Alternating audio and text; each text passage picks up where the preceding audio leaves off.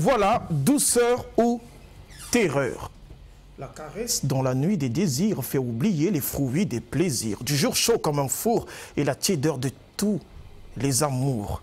L'allégresse du jour qui s'achève est un cœur d'Adam qui brûle pour Ève. La tristesse dont on s'envole commence alors la fête frivole. Et la belle, folle et très amoureuse tombe aux pieds de son prince. Heureuse, le fou déchaîné déchire sa chasteté. Éclate alors la jalousie et la méchanceté. Un cœur prisonnier de l'autre est une arête de poisson dans la gorge qui vous arrête quand gourmand vous avalez trop pressé une branche, une tranche à la sauce et condiments épicés.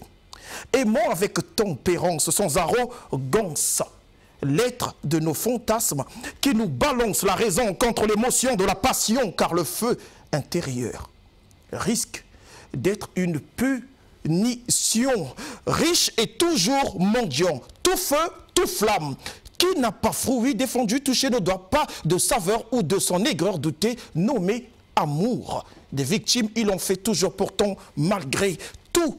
Après lui, en cours, mystère dont personne n'est maître, tout le monde lui ouvre porte et fenêtre quand il entre en transe. On le reçoit et il s'assoit, il réchauffe le milieu ou le refroidit quand il dé... quand il déçoit. Bonjour, chers téléspectateurs, c'est Convergence et Révolution culturelle. Je suis Dixon Klaus, Voix d'Afrique, votre humble serviteur. Convergence et Révolution culturelle, c'est un cadre, un espace où nous faisons la promotion des valeurs congolaises, des valeurs africaines. Alexis Bongo, Dixon. je viens de déclamer, mm. je viens de lire avec emphase des textes poétiques. Il s'agit de qui, Alexis Bongo? Merci Dixon, il s'agit de Pierre Tsemou, le Saint-Pierre des mots. Mais rapidement, euh, il faudrait que l'homme comprenne aussi, par les, téléspectateurs, que bien quoi que vous leur ayez donné un aperçu de l'écrivain, mais sur ce plateau, ce n'est pas l'écrivain qui est invité. Mhm. C'est vrai que nous avons ces livres, mais c'est parce qu'on a été fasciné le 5 octobre dernier, lorsqu'on a vu à l'IFC tous les écrivains congolais rendre hommage à un des leurs de la fratrie littéraire en écrivant tout un livre. Ça n'arrive pas à tout le monde, mesdames et messieurs. C'est pas Romy Kokilas sur ce plateau qui dira le contraire. C'est vrai que la Bible l'avait dit, nul n'est prophète chez soi-même et ça n'a jamais été démenti depuis 2000 ans que le Seigneur Jésus l'avait dit parce qu'il est très difficile, Romy, que les gens reconnaissent euh, le mérite les uns et les autres de leur vivant. N'est-ce pas, Romy? Naturellement, c'est une culture, hein, une culture euh, qui date on attend que quelqu'un meure. On attend que quelqu'un meure, on a une très, mauvaise culture, hein, mm. très erronée On dit du mal de lui. Dès qu'il s'était, en tout cas, on porte des t-shirts, on lui dit que, que, la terre te soit légère. En tout cas, il était magnifique. Et chacun, aucun, euh, personne à la télé ne peut témoigner qu'il était mauvais. Non, non, non, non. Ça aussi, la société n'accepterait pas ça. On la même il était magnifique. lui, en tout cas, c'était bien, hein, c'était quelqu'un d'important. Même si on ne se parlait pas pendant qu'il était en vie. Donc nous, avions été jaloux de voir, euh, d'abord on a été fascinés de voir ces, écrivains rendre hommage à Pierre Ntemou mm. et donc reconnaître unanimement, euh, au point où l'écrivain honorable Ferrer Ngassakis, Ngassakis que nous saluons d'ailleurs, disait que, bon, il vaut mieux, euh, au, moment où je m'apprête à dire Pierre Ntemou, il vaut mieux que nous nous inclinions Hein? Donc, euh, on voit la mesure que euh, l'écrivain Ferriol Gassakis donne donc euh, à Pierre Zemmour. Donc aujourd'hui, nous aussi, c'est Convergence et Révolution culturelle, hein, Romique, qui rend hommage à Pierre Zemmour. Parce qu'on se souvient bien que Pierre Zemmour est arrivé sur ce plateau, uh-huh. aider aussi l'avocat défenseur de l'Afrique quand c'était chaud pour lui. Hein. Donc on acclame pour Pierre Zemmour. Mais, il ne s'agit pas ici d'une ristourne où l'un est de l'autre, puis l'autre... Euh, non, mais c'est plutôt ici question de parler d'un homme. Oui, c'est pas une ristourne, c'est pas une ristourne, mais euh, les autres aussi pourraient dire le contraire. Mais la vie, la vie c'est une ristourne aussi. Mhm. hein? Quand on, est, euh, on, voit ça, non? Quelqu'un est éprouvé, tu n'es pas là. Quelqu'un est hospitalisé, tu n'es pas, là. Quelqu'un a besoin, tu ne donnes pas. Mhm. Mais le jour où ça t'arrive, et bien on dit, ah lui, oh là là, qui se débrouille seul parce que lui, quand c'est les autres, On ne le voit pas. Il ne vient pas, il n'appelle pas, il ne réagit pas. Donc, qu'on le veuille pas, la vie, c'est une euh, ristourne. Mhm. Et puis, c'est très dangereux dans la vie d'être ingrat. Mhm. Lorsque euh, quelqu'un t'a fait du bien et qu'à son tour, il est dans le besoin, mhm. de te détourner tout simplement comme si tu n'avais pas vu. Euh, en tout cas, ce n'est pas une ristourne, mais c'en est une aussi. donc ici, c'est l'occasion pour nous de dire aux téléspectateurs aussi qu'ils sont en direct avec nous, avec nous. Hmm, que il suffit d'acheter du crédit RTL à mhm. partir de 300 francs jusqu'à 1 million, vous achetez du crédit RTL comme vous voulez. Sans faire de forfait sans, composer un forfait, sinon ça ne passera pas. Vous achetez votre crédit, vous composez le 45-45.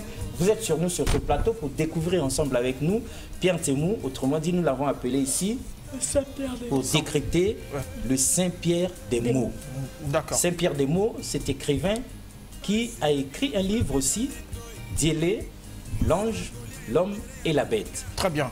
Euh, avant, avant que vous poursuivez votre... Mais, mais Romik avait probablement quelque chose à ajouter dans, son introduction. Mhm. Oui, naturellement, non. Ce que j'ai à dire, c'est cette reconnaissance d'abord à ce monsieur, mhm. euh, ce qui n'est pas souvent de ce monde, il faut le dire comme ça. Et euh, c'est quand même c'est quand même paradoxal de célébrer quelqu'un en face de lui-même. Mm. Et donc, euh, c'est naturel. Il a déjà un aperçu de ce que ça va être quand voilà, il sera voilà, là. Voilà, parce qu'on est sur le domaine de l'art. ça, ça, étonne même l'artiste lui-même. Mm. Et j'aurais même envie de lui demander comment, comment il vit ça. Qu'il soit célébré, alors certainement qu'il vit encore un vide. Il doit se projeter encore dans l'avenir. Vraiment, j'ai envie de savoir comment il vit ça. Est-ce que c'était le moment Vraiment, ça aurait été pour le Christ, mais malheureusement, les Juifs avait rejeté euh, le Fils de Dieu. Mais nous avons des dames, euh, chers téléspectateurs, sur ce plateau. Ici, il y a Arnette et il y a là et Christella à ma droite. Christella. Oui. Bonjour. Bonjour. Alors, très rapidement, il s'agit ici de Pierre Antiemou. Nous avons ses romans, ses, livres avec nous, ses recueils de poèmes. Un mot déjà. Euh, pour ma part, ce que je pourrais dire, c'est que je me sens gracier, parce que moi je n'utilise pas le mot chance, parce que je me dis que tout, tout ce qui arrive est fait par Dieu, Dieu décide tout. Conception est bon. Voilà, voilà pourquoi je me dis que je me sens graciée d'être là et de pouvoir directement poser mes questions à Saint-Pierre de mhm. Saint-Pierre des mots, mhm. Pierre Tsemo.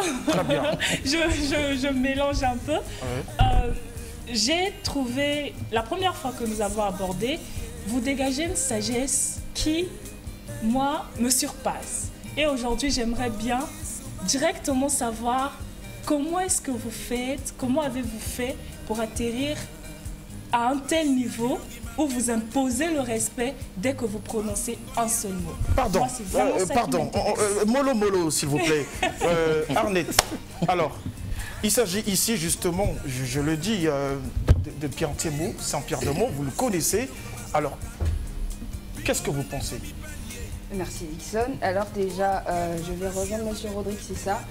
Et Romic. Romic. Romic, autant pour M. Romic a dit quelque chose de très important, c'est que lorsque nous sommes en vie, on ne reconnaît pas la valeur. Mais ce qui est bien, c'est que nous, euh, sur le plateau de Méostasie, nous de convergence et révolution culturelle. Merci beaucoup Dixon, je suis tellement dans la confusion. Donc il y a l'appréciation opportune en ce moment. Nous reconnaissons que Pierre Desmots est quelqu'un de très valeureux. Et si vous permettez, pour nos téléspectateurs, bien sûr, dans, ma, dans mes fouilles, J'aimerais, si vous permettez, Monsieur Pierre est là, il nous dira si ce n'est pas le cas, la signification du nom Tsemou. C'est une bénédiction, alors je nous informe que nous sommes bénis, nous sommes bénis ah sur ce plateau. N'ai pas fini. Ah Et pendant, pendant une des émissions qui a eu lieu l'année dernière, Monsieur Tsemu sur ce plateau a dit que son nom étant, qui veut dire bénédiction, quand on lui demande qu'est-ce qu'il pense de ce nom, il dit c'est mon rêve, c'est mon souhait, que ce nom apporte au pays, à la nation et au peuple toutes les bénédictions de l'éternel des armées. Pour que le Congo se porte de mieux en mieux. Le Congo, pour que le Congo soit ce pays où coule le lait et le miel. Ce sont là les mots de Pierre Très bien, ça. Euh, ça, c'est des bénédictions qu'il déverse sur notre pays. Maintenant, sur notre continent. chers téléspectateurs, le match commence. Nous allons poser des questions. Il y aura ici une pluie de, questions à l'endroit de Pierre Tsemou, Alexis Bongo, Romik, Arnett, qui, qui débute Qui va commencer Qui va tirer le premier moi, je pénalty? commence. Allez, moi, je commence. On, on y va? Moi, je commence. Euh, monsieur Pierre Simon. Oui. Vous êtes un père, Oui. un ami, un amant, un grand-père, j'espère bien. Exactement. Et vous vivez dans la société actuelle. Pour vous, comment est-ce que vous faites pour vous démarquer dans tous ces rôles dans, votre vie en fait? Comment est-ce qu'un homme que les écrivains aujourd'hui reconnaissent comme étant, euh, je peux me permettre de dire le plus grand, peut être grand-père, amant, père, tout à la fois en fait? Cela ne vous embrouille pas dans votre vie quotidienne? Merci, euh, ma fille. Merci pour euh, cette question. Elle est fondamentale. Et le modérateur a eu raison probablement de commencer par vous pour justifier le pourquoi du comment. Dans cette pluralité fonctionnelle, réussir à être nous-mêmes, je le tire, ou nous le tirons, de l'élément qui a déterminé mon destin, c'est-à-dire être nommé par euh, nos géniteurs, Ntsemu, les bénédictions, c'est c'est pluriel. Nous sommes bénis par l'Éternel, le Créateur, et nos géniteurs ont cru bon, depuis l'ascendance, de prendre euh, ces bénédictions divines, les amener sur la terre pour pouvoir cultiver l'élément fondamental de l'existence sur terre, l'amour. Et donc je réussis cet exploit d'être grand-père, d'être père, d'être peintre de la société à travers les écrits, d'être enseignant, parce que j'ai accepté d'être enseigné. La première des choses, c'est l'humilité, reconnaître qu'il y a plus grand et qui apporte à plus petit que soi. À partir de ce moment-là, on reçoit tout de la nature. Et cette nature nous permet de faire feu de tout bois dans n'importe quel domaine, dans n'importe quelle charge dont nous sommes euh, dépositaires par l'éternel Créateur. Autrement dit, je dis en répondant à cette question à mon frère, le premier, qui a demandé ce qu'est-ce que nous ressentions? Romic, ouais. Absolument. Mais c'est une émotion qui ne peut pas se vivre hors de soi. Et il est difficile, quand on est honnête, de décrire une émotion. Cette euh, pulsion ou cette pulsation qui bouscule l'intérieur de l'être humain, il n'y a que le divin pour le comprendre parce que c'est lui qui a créé cette émotion. Alors, être euh, ovationné, comme vous l'avez fait ici, être reconnu parmi les pères comme étant quelqu'un, père, P-A-I-R-S, être reconnu donc par les pères de la plume comme étant un porte-étendard de la littérature, c'est avoir une charge qui nous permette de vous dire qu'il vaut mieux ne pas être à ma place que d'envier Saint-Pierre des mots, parce que cette charge est difficile à porter. Nous devons faire l'effort d'être l'exemple. Or, ici-bas, vous avez beau faire l'effort d'être fort moralement, il y en a autour de vous qui vont vous attirer toujours vers le bas. Alors, cet équilibre existentiel qui consiste à aspirer vers le haut pendant que les uns vous attirent vers le bas, c'est un combat au quotidien. Mais je réussis cet équilibre-là grâce aux bénédictions divines dont nous avons parlé. Et je n'ai donc pas de mérite du tout. Je n'ai que la grâce, comme a dit ma fille. C'est cette grâce-là que je voudrais partager aux uns et aux autres. Alors, très bien. Euh, Romic, une question? Oui, une question. euh, Je suis beaucoup euh, euh, euh, ravi que vous puissiez établir ce lien en passant entre vous et la société. Et si je ne me trompe pas, vous êtes un sculpteur, un sculpteur de la société, voilà, un éclaireur de cette société. Alors, quel lien y a-t-il entre vous et la société? Et pourquoi cette passion à la société? Mais parce que je dois tout à la société. Qu'est-ce que je serais sans la société? Déjà, les géniteurs, que sont les parents, doivent beaucoup à la société. Cette société enseigne, renseigne, prévient, corrige, sanctionne. Et donc nous avons un lien indescriptible. Il est d'abord invisible parce qu'il est spirituel. La société, formée des êtres et des choses et des phénomènes, existe avant que nous ne venions. Et par l'éducation sociale, nous apprenons à reconnaître la valeur de la société, à respecter la société, parce que l'individu, qu'est-ce qu'il est? Rien du tout. C'est un infini, un, infiniment petit être qu'il ne peut rien sans les autres, et donc sans la société. Si nous commençons à respecter nos géniteurs qui font partie de la société, nous comprenons par là que nous devons, nous devons fondamentalement à la société notre existence. Donc nous avons un lien, nous avons une complicité, nous avons une exigence de vivre en symbiose avec la société. Celui qui ne peut pas et qui n'accepte pas de vivre en symbiose avec la société, c'est un paria. Et moi, je fais l'effort de ne pas être un paria. Je fais l'effort d'être l'ange dont a parlé le journaliste écrivain Alexis Bongo. Je suis l'ange. J'aspire à être l'humain. Je suis l'homme que tout le monde voit. Mais je ne veux pas être le diable qui se cache en moi, mais qui de temps en temps me pousse à mal agir parce que j'ai moi-même subi une pression négative de mon entourage.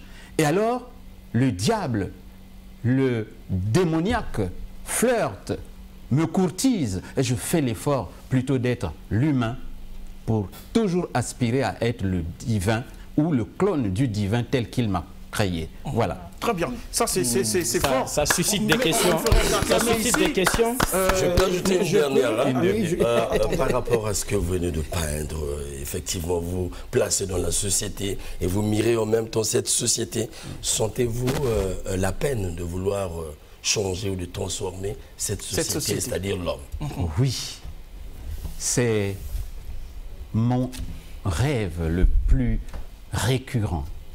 Faire que ce qui est autour de nous ne puisse pas toujours nuire au nous. Si l'on peut tolérer que par mes actes, on me fasse payer quelque chose, donc je suis coupable de mes actes. Mais je souhaite que les gens ne fassent pas les mêmes erreurs, les mêmes fautes que moi pour être culpabilisés et être punis. Vous parlez comme l'apôtre Paul. Franchement. Je lis ce langage. Hein. Euh, ce que je rêve, et ce dont je rêve, je rêve d'une chose merveilleuse, mais en même temps, je rêve un monde idéal où il n'y a que l'amour, il n'y a que la, bonté, la beauté et le bien.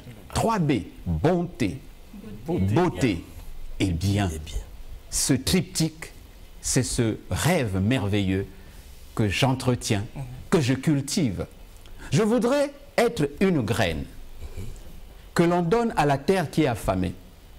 L'unique graine, eh bien, j'accepte de me sacrifier, d'entrer en terre, pour qu'après moi, les survivants reçoivent mille graines à partir de ma graine qui a été plantée pour le bien de l'humanité. Très bien. Mais on ne fera qu'acclamer ici. C'est vraiment sublime. Hein. C'est magnifique. Euh, euh, Saint-Pierre des mots, c'est magnifique, mais quelqu'un qui nous suit avec attention est indigné du fait que c'est vrai que vous aimez la société des hommes, personne ne peut vivre hors, euh, personne ne peut créer son propre monde.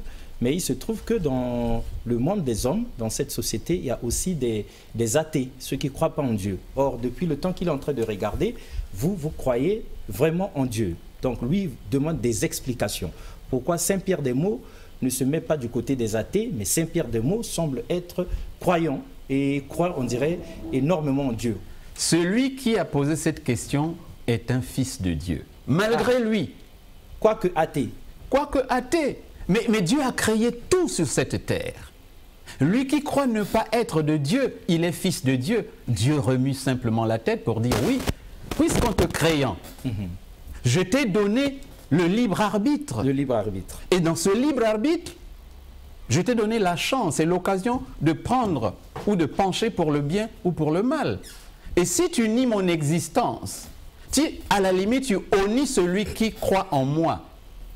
Tu es en train de honnir ta propre existence sans le savoir. Et donc moi je dis, je persiste, je signe ici que celui qui a émis cet avis, je le comprends, je ne le condamne pas. Je sais qu'un jour, il reviendra. Passe au niveau de votre téléphone, mais il viendra sur ce plateau présenter des excuses au divin créateur pour avoir, à la limite, euh, condamné le fait que nous louions le Seigneur, le Créateur. Parce que Dieu, il est juste et bon. Même quand vous ne l'aimez pas, lui, il vous aime. Lui, c'est l'amour incommensurable. Et donc pour moi, celui-là qui ne connaît pas Dieu, il est mien. Celui qui connaît Dieu, il est mien quelle que soit ta pratique spirituelle, quelles que soient tes convictions spirituelles, pour moi, tu es l'être de Dieu. Et à ce moment-là, c'est être au Dieu que de ne pas reconnaître que toi, tu es un être humain. Saint-Pierre des mots.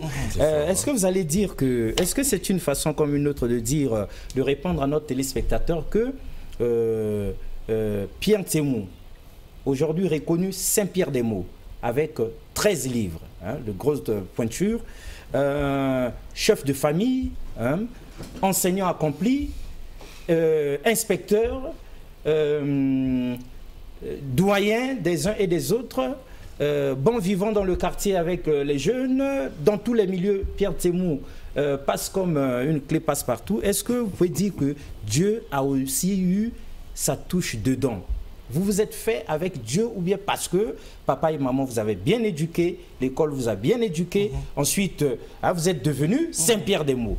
Donc notre téléspectateur ne voit pas euh, le doigt de Dieu dans tout le parcours de Pierre Thé. Libre à lui de ne pas voir le doigt de Dieu. Ah. Ma naissance, je la dois à Dieu. Ah.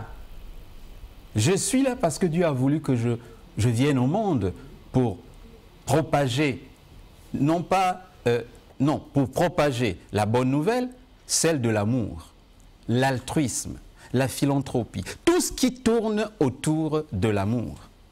Comment ne pas reconnaître cette main invisible, cette grâce? Il ne faut pas qu'il nous pousse jusqu'au dernier retranchement pour ne pas le considérer comme un humain. Mhm. Mais quel qu'il soit, il est le fruit de la volonté divine. Même s'il ne le sait pas. Même, s'il ne le sait pas, même s'il l'ignore, même s'il a la volonté publique d'afficher son athéisme, c'est aussi ça. Je crois que là où il est, il reconnaît une chose, qu'il y a des phénomènes dans sa vie qu'il a déjà vécu. Parce que je le vois, celui-là qui parle à mm. travers le, téléphone. Mm. Il est le représentant exponentielle de tous ceux qui sont courtisés par le malin. Il ne le sait pas, il ne le sait pas. Parce que justement, quand on dit de quelqu'un qu'il est envoûté, il ne se sait pas envoûté. Absolument. Il tape du point sur la L'envoûté ne se sait pas envoûté. Ah, non, pas du tout. Pour lui, il est l'ange. Hmm. Il est le béni. Il est le plus intelligent de la planète Terre. Hmm. Parce que personne n'a perçu ce que lui il a perçu. Pauvre créature. Je peux simplement plaindre son sort et son destin pour dire non. Dieu demeure notre protecteur tel qu'il nous a créés il nous protège de la même manière. Mais je vous en prie, je, vous en prie, ça, ça, ça commence à... Euh, ça, ça m'intéresse, oui, dans ce sens, parce qu'on va, on va changer certainement de volet. Oui, vous parlez de Dieu avec autorité. Hein. Arnett, on peut préparer sa question déjà euh, Avec vraiment autorité, avec conviction. Alors, je suis un peu scandalisé de savoir que vous êtes écrivain. Je vous attendais euh, me dire, par exemple, vous êtes très rationnel. Mais curieusement, vous nous faites preuve de votre croyance, euh, votre foi, et avec autorité. Alors, vous êtes allé un peu plus au-delà, au-delà, au-delà, au-delà de la réflexion, je viens de le sentir. Alors, pensez-vous que dans les sociétés qui sont les nôtres, telles que la nôtre, Dieu a-t-il sa place? Ou encore dans l'existence humaine? Au Congo, je dis bien, mhm. je suis précis. Parce que euh, vous n'êtes pas sans savoir que vous venez de développer là sur un courant Ce monsieur doit incarner ce courant qui pense qu'aujourd'hui, par exemple, nos sociétés noires sont en recul, sont sous-développées parce que croyance. Trop de Dieu dedans. Voilà, trop de Dieu. La croyance, en fait, va faire reculer cette société. C'est tellement fort dans les réseaux sociaux partout. Et on pense qu'il faut mettre fin à ce discours qui porte autour. Il faut fermer toutes les églises. Y a-t-il, Dieu a-t-il sa place encore dans notre société? Je vous en prie. Plus que jamais, Dieu a sa place. Dans une société comme la nôtre, où le mal courtise plus l'âme humaine, l'âme du Congolais, qu'un peu partout ailleurs, c'est ici que justement, on n'interpelle pas Dieu, mais on l'invoque pour dire, hâte le pas, mon Dieu. Si tant est que ta mission est universelle et qu'aux quatre coins de l'univers, on a besoin de toi, mais nous avons plus que les autres êtres sur Terre au Congo besoin de sa présence. Et quand vous parlez de rationalité, mais il n'y a pas plus rationnel que Dieu. Ah. Absolument. les mathématiques, les sciences physiques, l'astronomie, tout ce qui est rationnel vient de Dieu. Et il n'y a pas meilleure science rationnelle que la divinité. Mais quand vous n'avez pas perçu les paramètres qui sont les exigences de la divinité, vous prendrez Dieu pour moins que rien. Mais Dieu, c'est tout. Aucun scientifique ne peut réussir à faire sa démonstration s'il n'a pas l'onction divine. Il a reçu cette mission pour dire, pour démontrer, pour faire. Et lui qui est le plus grand théoricien, le plus grand praticien, le plus grand mathématicien, bref, tous ceux qui ont foulé le pied sur la planète Lune savent mieux que quiconque, pour l'avoir approché, la puissance de Dieu. Donc au Congo, plus que jamais, en dehors de la mauvaise manière de pratiquer des chrétiens, je dis Dieu est omniprésent. Dieu est une urgence.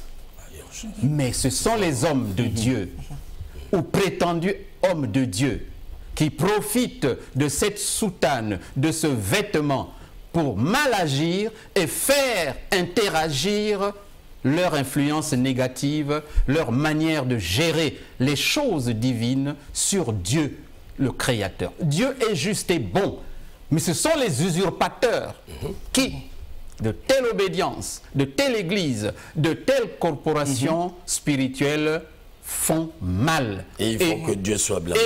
Et, voilà, en ce moment-là, on dit Dieu est blâmable, condamnable, pendable et tutti quanti. Très bien. Alors, euh, c'est vrai. Euh, euh, oui, avec votre permission, c'est à Patrick Louvezeau que nous disons on a rendu hommage aussi à Pierre Tsemou par des photos que nous avons pu faire comme ça, avec ses livres en main. Donc, il peut nous les balancer aussi au fur et à mesure que nous parlons. Oui, justement. alors, Arnett a une euh, question. Oui, allez-y. Vous avez parlé de la société avec euh, monsieur Romic. Romic, d'accord. La société nous reprimande, la société, la société. Mais cette même société, aujourd'hui, nous voyons lorsque les parents ne sont plus, les enfants sont abandonnés à eux-mêmes, il n'y a personne pour, pour leur prendre en charge, ils se retrouvent dans la rue.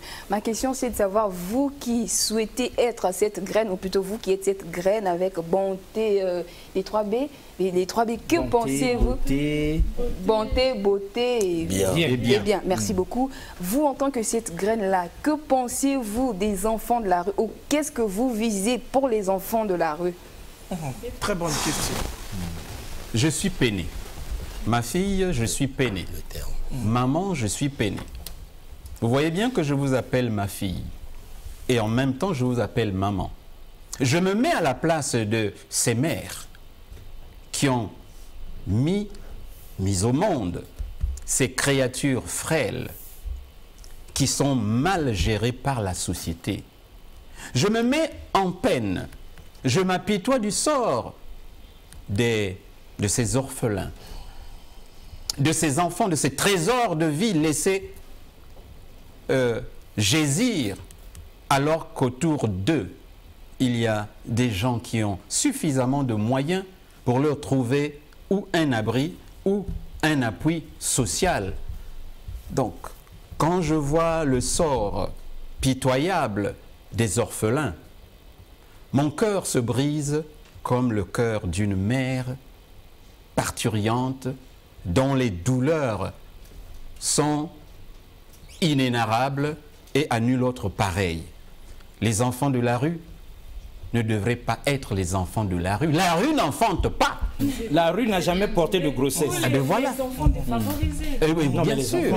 justement, ça, les enfants alors, euh, chers téléspectateurs, l'évangile que, que, promeut tout de suite euh, euh, Saint Pierre de Meaux, c'est le même évangile qu'il promeut dans ses romans, hein, dans ses recueils de poèmes. D'ailleurs, je vais vous lire rapidement un, un, texte. à force de recevoir tant de, grâce, on en mesure l'investissement le long de notre cheminement sur la terre qui laisse des traces. Il ne faut pas rêver cueillir le bien quand dans sa vie le mal est ami. Fidèle compagnon, tel un bel habit qu'on aime souvent et pour rien. Au monde, on ne voudrait le perdre quand on sait aliéné à la malice, on a bâti un édifice de maléfices on est toujours dans la merde. Autant une chatte ne fera des rats. Autant du mal, le bien ne viendra pas. Christella. Ok. Euh, monsieur Pierre Tsemo, dans les déboires de Patrice Liqueur, euh, je ne sais pas, c'est avant la préface, euh, il y a je pourrais dire un proverbe, un proverbe de vous, je vais rapidement lire. Le premier verre d'alcool, silencieux et délicieux, fait sourire. Le deuxième, troublant la raison du buveur, à la, dérive, fait rire. Le troisième, agressif, déchaîné, échauffant tous les nerfs, fait souffrir. Le quatrième, ravageur, per, pernicieux et assassin fait mourir. Euh, ces quatre vers m'ont touché lorsque je les ai lus. Pourquoi? Parce que ce n'est pas. C'est une image que vous avez prise comme qui dirait que ce ne sont pas les vers qu'on prend en un jour, quatre jours qui pourraient nous tuer. Mais au fur et à mesure, l'alcool finit par nous tuer. Absolument. Moi, ce qui m'a étonné, si je peux dire comme ça, c'est que vous avez trouvé le moyen d'imager quelque chose, mais en même temps pour que ce soit clair à comprendre.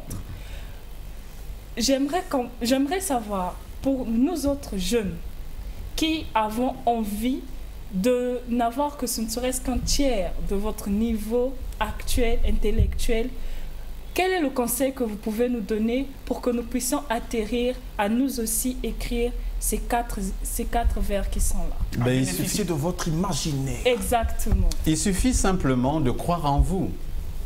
Vous êtes ce que je suis multiplié par n.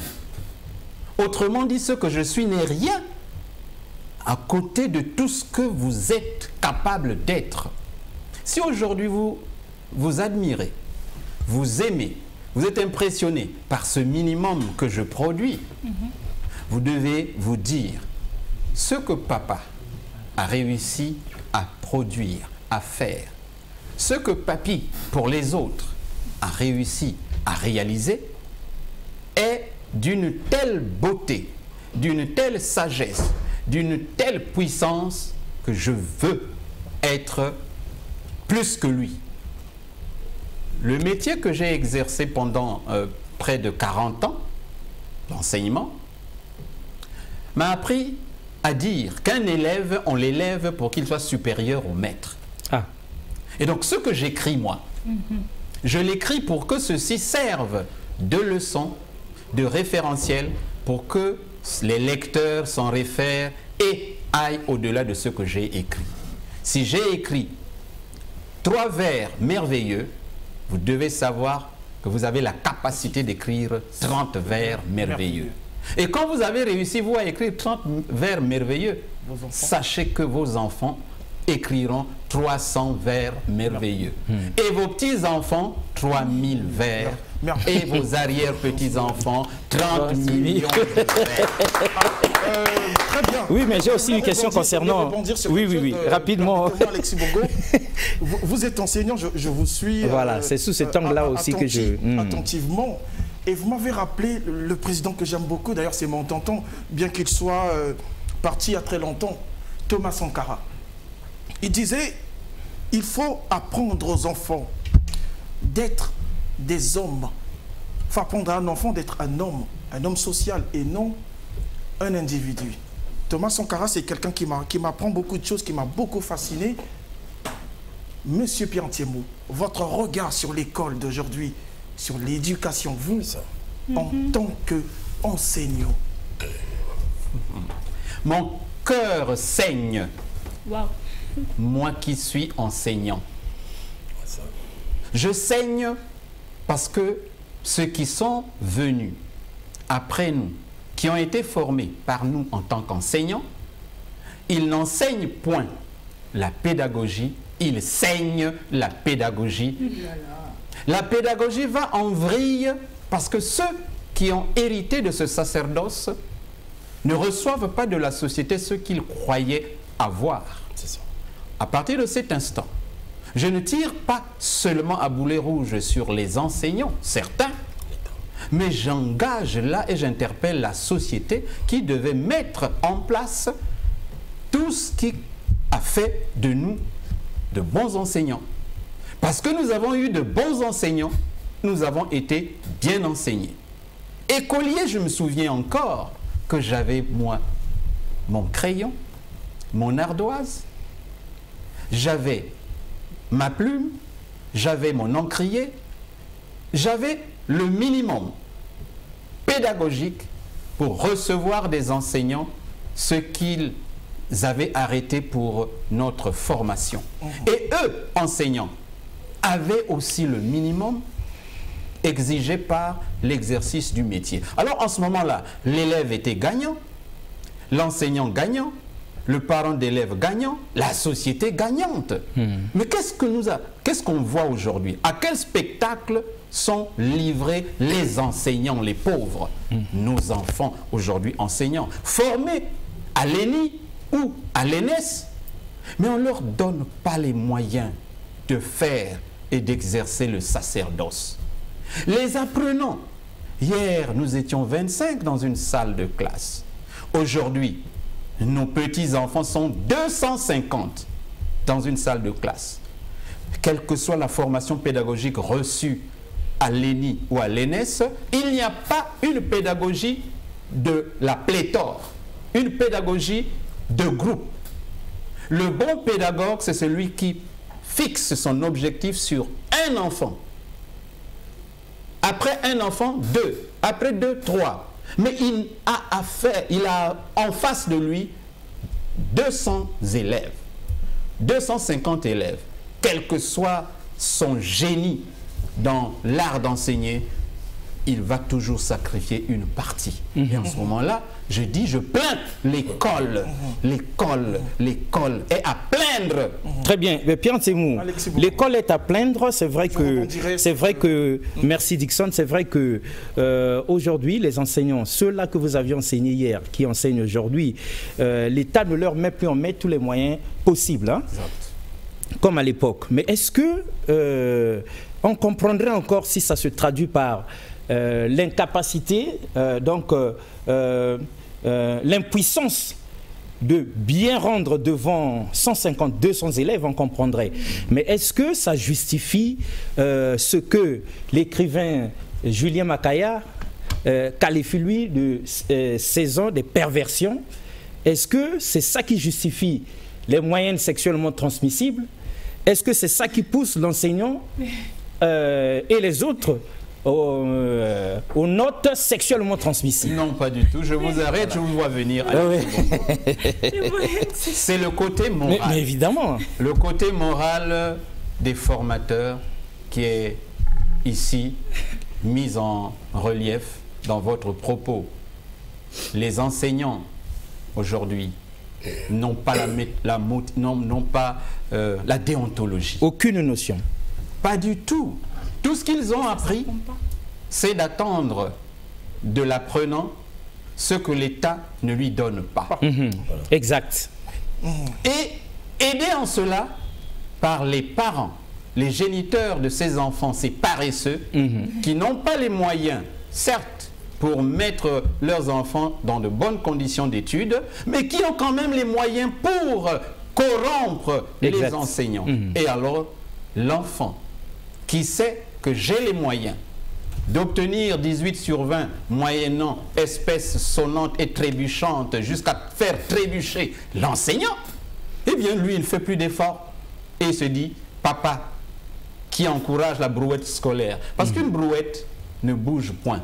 Pour qu'elle bouge, il faut qu'on la, la pousse. Eh bien, le parent, le tout premier, c'est lui le responsable.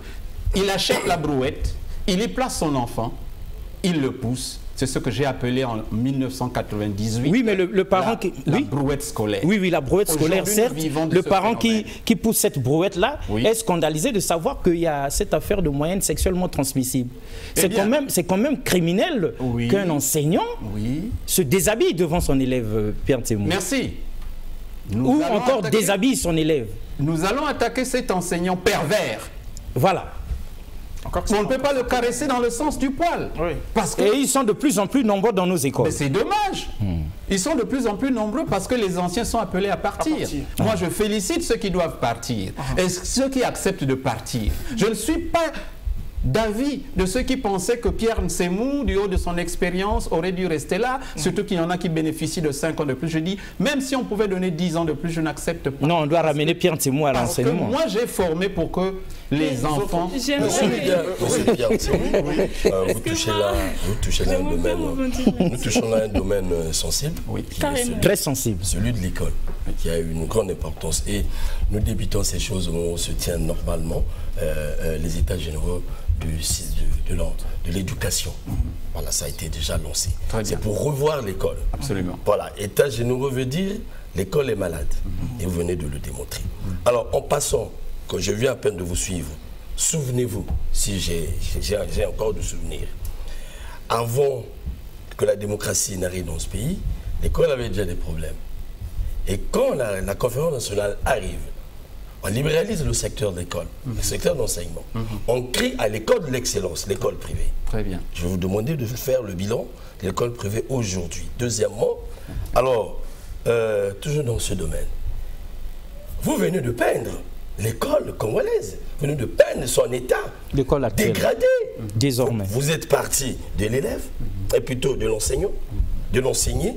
On peut, on peut aller encore plus loin au niveau des infrastructures. Ça, c'est sûr, ce n'est pas un secret.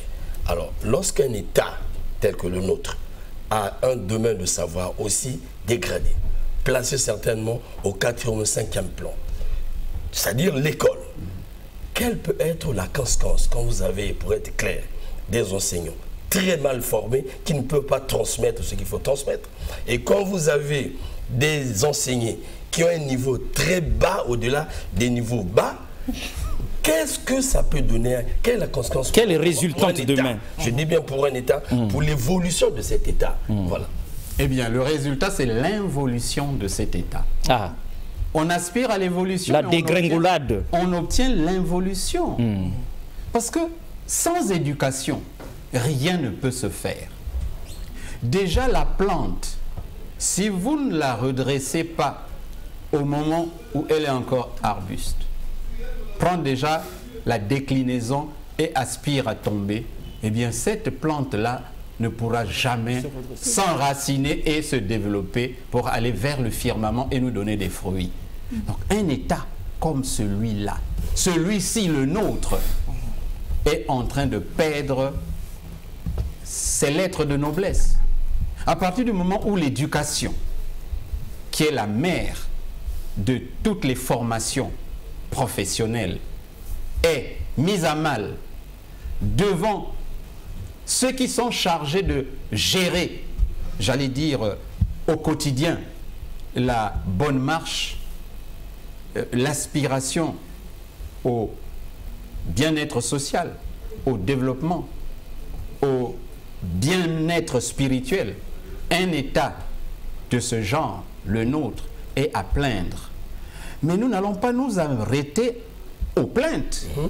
il faut que chacun apporte du sien dans mhm. la réflexion pour dire je nous propose à notre nation ceci pour l'école congolaise. Vous avez dit, et les députés l'ont certainement dit, on aspire à la tenue des états généraux de l'éducation. Mhm. Ça veut dire que tout le monde est conscient. Tout le monde est conscient. Mhm. Mais vous savez, ou j'allais dire, savez-vous depuis quand on aspire à la tenue des états généraux de l'éducation? C'est vous qui allez nous dire. Eh bien, plus de 20 ans. Au sortir de la conférence nationale. Je dis bien plus de 20 ans. Donc on s'arrête sur la théorie oui, et dans la pratique, rien du tout. rien ne se fait. Il n'y a pas de volonté politique. Absolument. Ah, il faut dire faut, le faut, faut la volonté, politique. Humaine. Hmm. Il y a la volonté des penseurs comme mon frère ici. Il y a la volonté des humanistes comme mes filles et mon hmm. fils là. Hmm.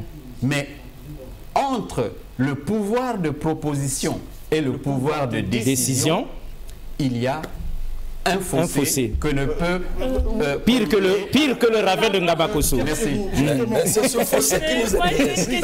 C'est ce pourquoi C'est ce pourquoi là. Oui. La volonté y est. Oui. Je, serai clair avec vous. Oui. Vous avez soulevé quelque chose, vous avez perçu quelque chose de très important. Oui. La volonté y est depuis plus de 20 ans. Ah oui. Et je dirais que c'est au sorti de la conférence nationale. Merci. Voilà.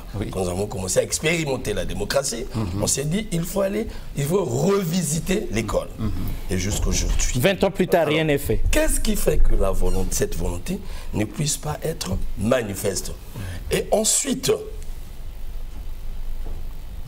ça devient récurrent. Cependant, nous réussissons en tant que Congolais, en tant que société, dans d'autres domaines.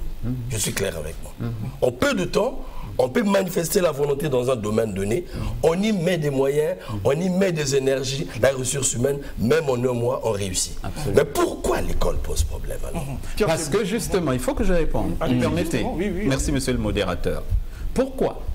Parce que l'homme congolais a oublié quelle était la philosophie existentielle des premiers euh, j'allais dire, gouverneurs de ce pays, des premiers gouvernants de cette nation, qui, en effectif très restreint, occupaient chacun quatre ou cinq secteurs professionnels, mais qui faisaient bien, pour ne pas dire très bien, en y mettant, en affectant dans chaque secteur un directeur général chargé de la bonne gestion de cette structure.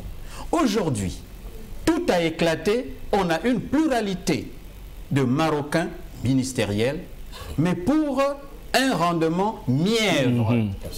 Le Congolais mhm. a choisi de se remplir les poches de mettre en exergue le moins haïssable, punissable, blâmable, condamnable et même pendable en mettant en marge le nous, en mettant en marge la nation.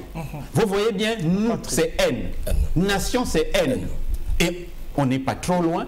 Haine, haine, doit aimer. Mm. Mais tant que tu n'aimes pas et que toi tu mets en relief plutôt la haine mm. du prochain qui ne doit pas mériter les dividendes dont tu es inondé, eh bien, l'éducation sera toujours le parent pauvre du Congo ou de toutes les sphères sociétales.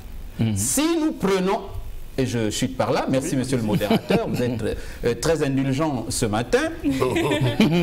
si nous prenons tous l'engagement de dire et de faire le bien, d'aspirer au beau pour que tout le monde euh, se porte bien, en ce moment-là, le mieux va s'installer. Si Alexis Bongo, dans son émission, prend la résolution d'aspirer vers le meilleur. Ceux qui l'entourent, qui viennent à l'émission, vont conjuguer le même verbe. Mon frère, dans sa sphère d'action, fera la même chose. Et les gouvernants vont se dire, nous risquons d'être les dindons de la farce en mhm. restant en marge de ce qui est bien, embrassons le bien. Alors, je chute et je dis, faisons le bien parce que le bien est pour celui qui le fait et pour celui qui le reçoit. Alors, euh, une question, puis Arnette. Euh, et Christella, oui, vous avez parlé de la société, vous avez parlé de, de, la société justement, mais est-ce qu'il ne faudrait pas appeler chat par chat et ici proposer hein, des solutions, si vous le pouvez, bien évidemment, la République, dans sa mission de promouvoir le bien-être euh, du citoyen, a pour partenaire les familles et l'école. Mmh. Donc, nous, pensons, je pense qu'aujourd'hui, si l'école a du mal à œuvrer dans la mission que la République lui assigne, c'est que quelque part, la République en est coupable. Quelle est la solution pour rapprocher, entre guillemets, les deux entités dans l'optique Dixon, moi, je, je, ravis la parole pour répondre à cette question. Je, je ravis la parole. On a déjà compris le temps contre nous. Ici, euh, on a parlé de volonté politique. Nous sommes dans un pays où il faut éviter de manger du piment dans la bouche des autres. Bien. Saint-Pierre-des-Mots, c'est nous qui l'avons invité ici pour le fêter. Et nous n'aimerions pas que des hommes politiques incapables et incompétents, irresponsables, s'en prennent à Saint-Pierre-des-Mots à la fin de cette émission parce qu'il aura dit ceci ou cela. Dans ce pays, on ne souffre pas du fait que on ne sait pas ce qu'on doit faire. Si, on sait. Sauf que la volonté politique de faire, c'est ça qui est porté disparu. Très bien. Donc là, il ne faut pas qu'on cherche des problèmes à Saint-Pierre-des-Mots. Arnett. Arnett. Oui. Merci. Mm. pendant que je descendais profondément dans les profondeurs de mes recherches, vous voyez tellement à, force de s'asseoir... Vous devenez Pierre Témoin aussi. Si, ça arrive là. Pour nos téléspectateurs qui sont en train de nous suivre parce que nous terminons, pour justement éclairer Christella aussi, vous vous dites comment ça, il se fait, il s'appelle Pierre Témou, Saint-Pierre-des-Mots, juste une petite hmm. lueur. Alors, Saint-Pierre-des-Mots, toujours sur le plateau de cette émission, il y a une année, a dit que comment, donc il explique comment est né Saint-Pierre-des-Mots. Il dit une très belle histoire, une belle anecdote. En tant qu'écrivain, les férus des belles lettres ont eu l'occasion un vendredi de 2013 à la préfecture de Brazzaville. Il dit encore, il était par, euh, dans l'envolée lyrique, j'ai eu du mal à descendre et cela a soulevé l'enthousiasme du public qui, par l'entremise du modérateur Aimé Eyenge, il a dit le Saint-Pierre des mots. Donc, de façon spontanée, tout est parti de là. Voilà, depuis donc 2013, nous l'appelons Saint-Pierre des Mots. Depuis 2013, on l'appelle Saint-Pierre des Mots. Euh, au moment où Dixon va atterrir, euh, euh, une seconde, quelqu'un écrit Bonjour, je suis Jean-Stel Bazaba. Ma question est posée directement à Saint-Pierre des Mots. Quels sont, selon vous, Père, les moyens les plus radicaux pour balayer l'immoralité pédagogique dont nous sommes tous témoins ici On vient de le dire ici. Hein. On a dit, c'est pas que tout le... et les parents et les, élèves eux-mêmes d'abord et les professeurs, tous, tous ils savent ce qu'ils doivent faire, mais ça ne se fait pas. Et donc, euh, Dixon Klaus. Alors, très euh, rapidement, nous allons clore notre On même pas eu le temps de parler en lisant rapidement ce, texte.